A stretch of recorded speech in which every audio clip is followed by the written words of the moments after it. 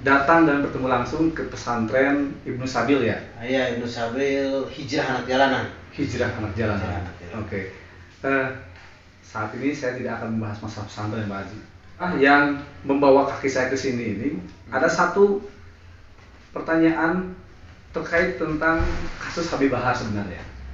Jadi belum lama ini Pak Haji sebagai pimpinan Ponpes Ibnu Sabil ini viral di beberapa media, termasuk di media, media sosial. Nah, banyak pertanyaan baik dari saya atau dari masyarakat sebenarnya hubungan Pak Haji dengan Habib Bahar ini seperti apa?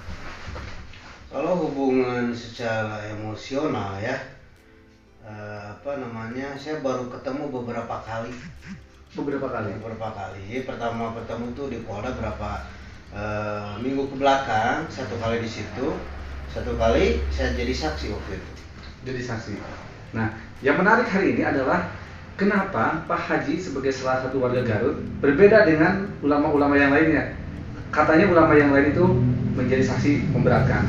Sementara Pak Haji dengan beberapa ulama yang lain malah meringankan. Kira-kira Pak Haji, sebenarnya apa sih yang menjadi motivasi Pak Haji sehingga mau menjadi orang bahkan di salah satu media sosial Pak Haji siap di penjara menggantikan posisi Habib Betul, betul, betul.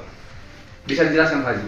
Oh, jadi begini tentang eh, apa namanya tadi eh, kenapa saya meringankan tentang Habib Bahar? Karena Habib Bahar itu tidak salah, gitu kan?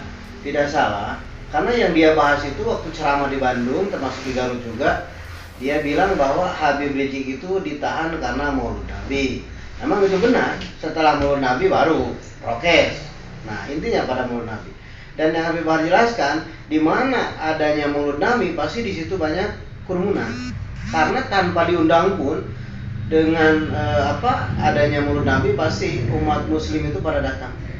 Bukan mau lihat apa wajah ulamanya, tapi mau mendengarkan isi ceramah eh, beliau tersebut.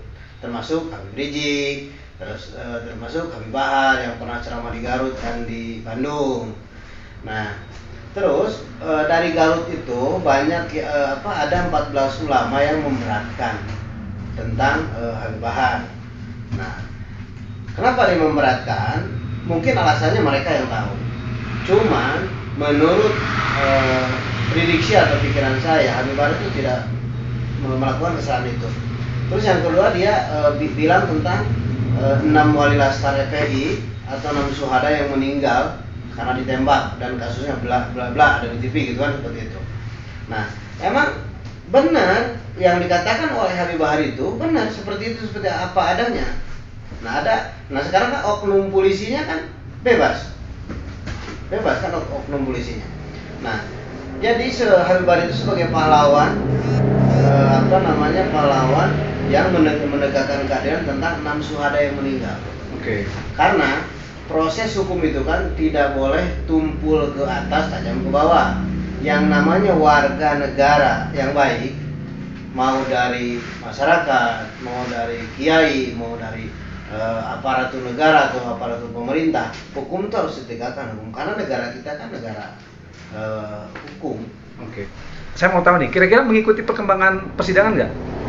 Mengikuti perkembangan persidangan, Jadi selain menjadi saksi meringankan, juga mengikuti persidangan. mengikuti tiap eh, sidang tuh mengikuti dilihat di live dan di YouTube YouTube saya lihat. Oke.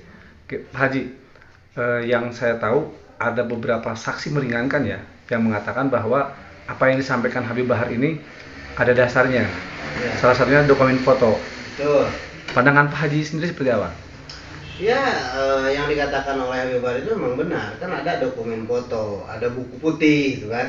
Itu dok- dokumen foto-fotonya yang eh, katanya itu disayat, dibakar kemaluannya dan sebagainya walaupun saya tidak lihat sendiri. Tapi kan itu ada dokumen-dokumennya, ada foto-fotonya. Jadi alasannya Habib Bahar berbicara tentang kilometer 60 itu atau kematian 6 laskar FPI atau 6 suhada itu, itu ada dasarnya dari foto-foto tersebut. Makanya di saat ada dasarnya, makanya di situ ada kebenaran. Oke. Yang, yang dibicarakan oleh Habib Bana- eh, Bahar bin Smith. Oke, artinya memang apa yang disampaikan Habib Bahar itu bukan bohong ya? Bukan bohong, bukan hoax. Oke. Asli, benar. Menurut saya tuh.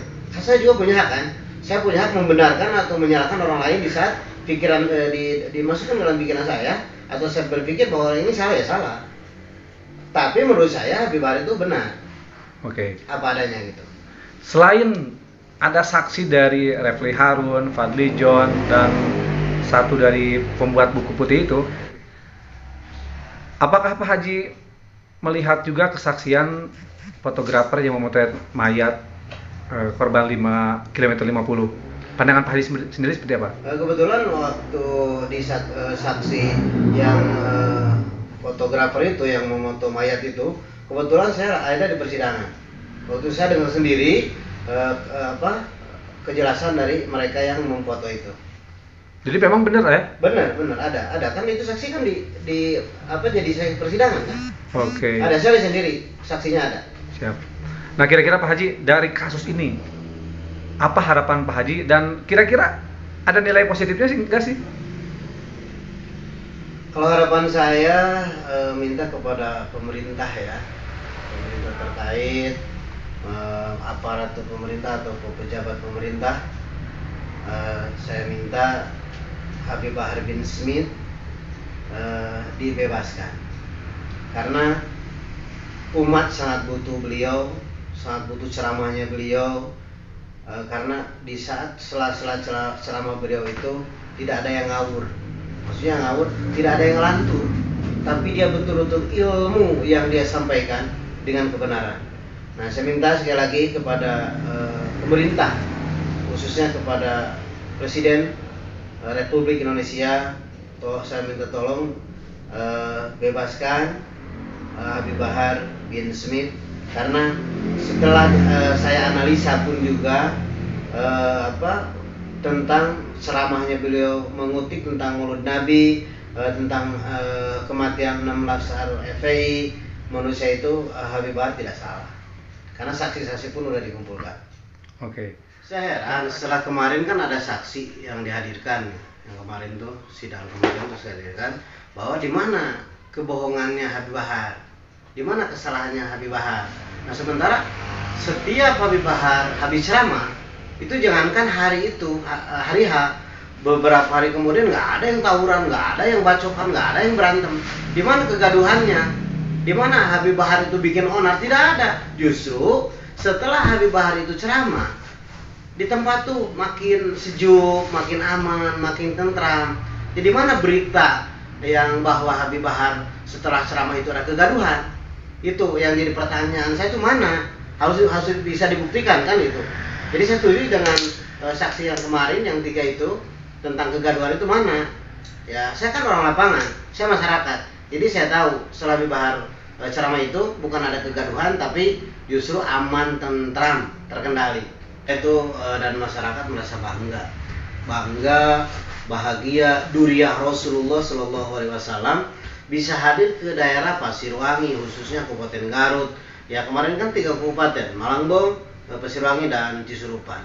Justru orang-orang di sana termasuk saya itu merasa bangga. Kenapa bisa bangga? Karena tanah Garut khususnya Pasirwangi daerah saya diinjak oleh eh, duriahnya Rasul oleh orang suci gitu. Itu kebahagiaan yang tidak bisa saya utarakan dengan kata-kata. Jadi semua orang Garut itu sebetulnya bahagia. Nah memang ada yang memberatkan mungkin itu yang tidak bahagia. Jadi itu nggak usah dipikirkan. Karena kebahagiaan itu milik seseorang dan dalam hatinya. Itu itu kebahagiaannya. Eh, buat Habibana Habib Bahar bin Smith terutama dan yang satu lagi yaitu Tantan yang eh, menyebarkan eh, videonya di YouTube tersebut secara tidak langsung. Eh, jangan apa namanya ke- Tantan tuh kalau Tantan tuh jangan apa putus asa atau gimana. Kita tabah aja karena ini mungkin udah takdir dari Allah seperti ini. Eh, hadapi proses hukum dengan baik karena kita warga eh, Indonesia yang baik. Dan insya Allah semua yang eh, Kang Tantan itu alami insya Allah ada hikmahnya. Dan saya yakin eh, Kang Tantan itu cuman intinya kan awalnya kan tidak tidak apa tidak memikirkan bahwa ini salah dan akan melanggar aturan. Itu tidak tahu cuman eh, dia merasa eh, bahwa ini video ini eh, istilahnya untuk umat video ini untuk eh, ilmu eh, karena video ini syiar gitu kan menyiarkan ilmu-ilmu dari Habibana Bahar bin Smith. Dan kepada eh, Habib Bahar tuan guru kami eh, kenapa saya anggap tuan guru kami? Karena eh, beliau itu sosoknya eh, figur guru gitu kan figur teladan untuk eh, kami di Pondok Pesantren Hijrah Jalanan di sini. Eh, semoga diberikan kesehatan eh, diberikan eh, apa rezeki yang melimpah diberikan kekuatan insya Allah dibalik semua ini eh, selama saya mengikuti persidangan Habib Bahar itu betul-betul ahli ilmu ahli kitab. Kenapa bisa seperti itu? Saya dari mulai persidangan itu saya lihat gitu kan. Dia itu bukan cuma di panggung tapi di sidang pun di pengadilan pun dia itu betul-betul eh, orang-orang yang penuh dengan keilmuan. Bahkan saksi-saksi yang memberatkan mereka itu tidak eh, apa tidak berkutik tentang ilmu eh, terhadap beliau. Karena beliau betul-betul eh, sangat menguasai ilmu agama yang lebih baik. Eh, dan Habib Bahar itu beliau itu adalah duriahnya Rasul gitu kan. yang namanya duriah Rasul itu tidak diragukan lagi keilmuannya. Dan kami pasti tetap mengikuti beliau dan eh, apa mendukung beliau. Karena beliau itu bisa dikatakan imam kami. Mana ada malam lo, baru nongol.